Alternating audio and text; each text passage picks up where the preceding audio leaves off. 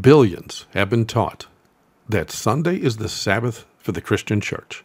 Yet, time and time again, when their leaders are asked to share scripture to prove the Sabbath was changed, never once have any of them supplied a single Bible verse. Now, yes, many of the Christians in such churches are taught to present out of context verses that they claim proves the Sabbath was changed. But when they are placed back in context using their very own Bibles, even they admit they never knew their pastor twisted it. Check out the list of verses placed back in context here when you get time.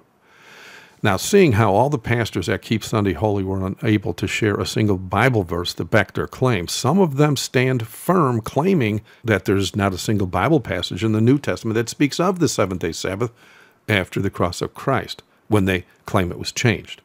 And so they claim that lack of Bible evidence is now their new banner for their Sunday Sabbath, even though they still have not a single Bible verse to present.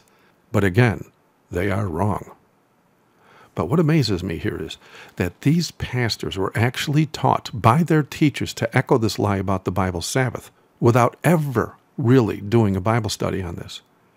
I mean, not only is there a New Testament passage proving they are wrong, that is after the cross of Christ when they claim the Sabbath was abolished, there are many other verses declaring the Ten Commandments. All ten of them are still valid now and even unto eternity, no less.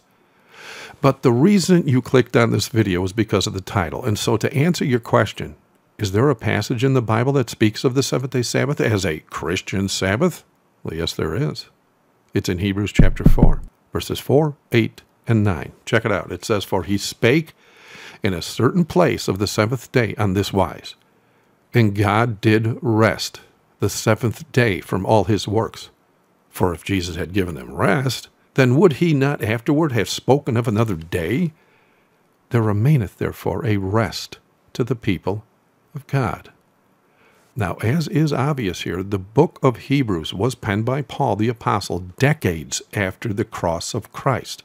And this passage clearly speaks of the seventh day Sabbath, wherein God rested from all his works in creation week, when the very first Sabbath was sanctified in the Garden of Eden.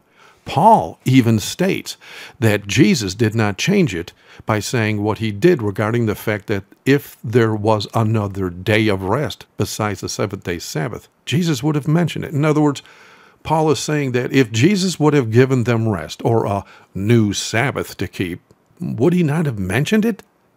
Now for the clincher. It is clear we see Paul is speaking of a day of rest that was instituted in creation week on the seventh day, wherein God himself rested, proving this is all about the Sabbath. And Paul further confirms this to be a Christian Sabbath due to him saying, if it wasn't our Sabbath, Jesus would have spoken of another day of rest for us. But notice the word rest in verse 9 here. That word rest comes from the Greek word sabbatismos, which by definition is a keeping Sabbath.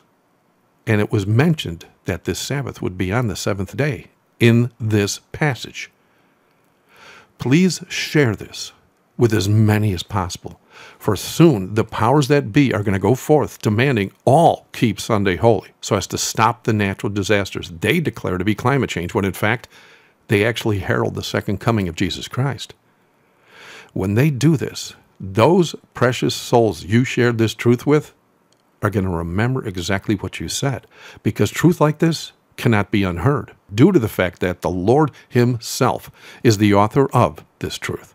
It will come to their minds at the perfect time, and they will then be moved to make the long prophesied decision to obey the Lord unto eternal salvation or obey the dying God of this world unto eternal damnation. Thank you for watching. God bless.